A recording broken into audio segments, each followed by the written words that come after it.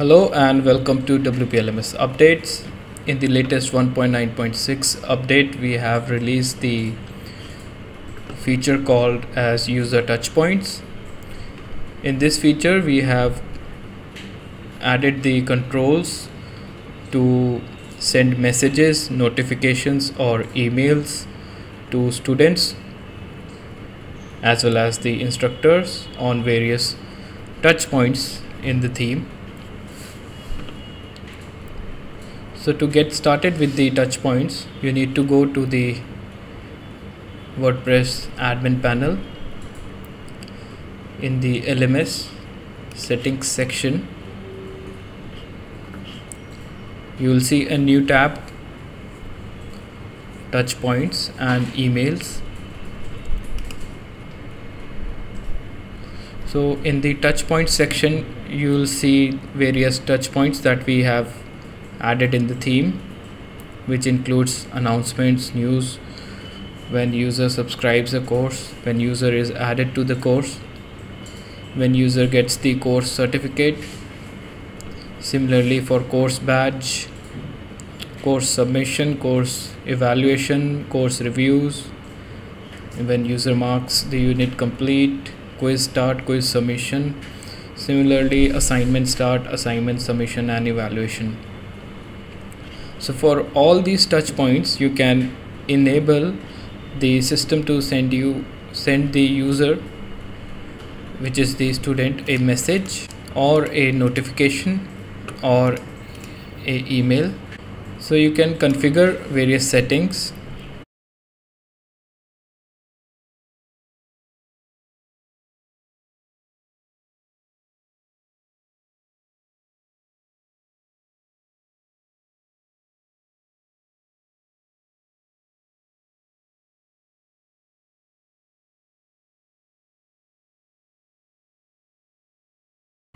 so once you have configured these settings and saved the settings you need to go to the email section. Here you need to add the from name in emails and the from email which is by default your admin email in the emails. You can also configure the account activation email. You can write your custom text and for the link you can use the use the code activation link. This code will be replaced by the account activation link which is sent by the BuddyPress similarly you can configure the email template. So this is the default email template and you can customize the colors of your email template using the above controls. So simply click on the color and you can select the color and you can see the live effect in the email template. So once you have configured the colors you can also view the generated template.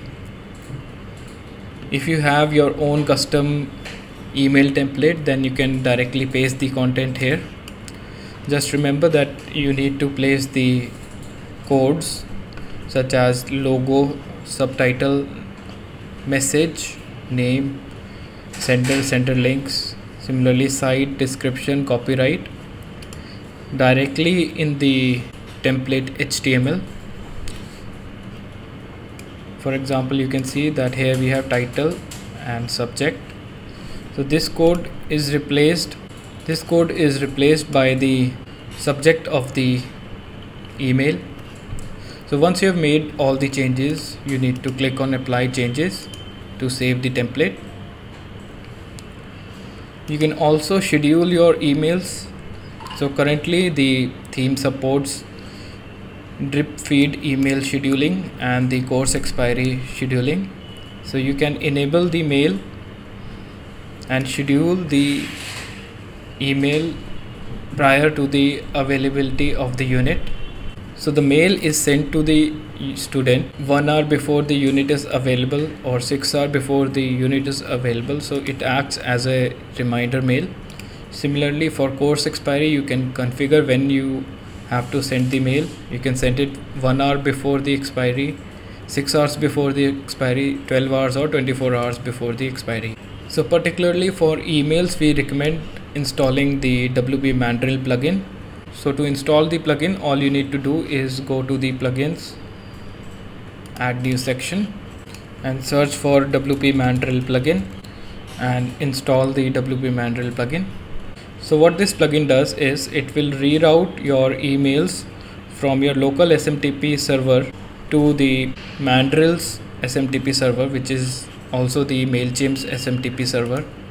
So to use this plugin you need to create an account on the mandrillapp.com site. And once you have created the account you will get access to the dashboard which shows the number of emails sent and the various email stats including the bounce rate and the open rates. So to use the WP Mandrill plugin you need to go to the settings section. In the settings section you need to create new API and copy this API and add this to the plugin settings which is under the settings section. So here you'll need to add the API key. And once you have added the API key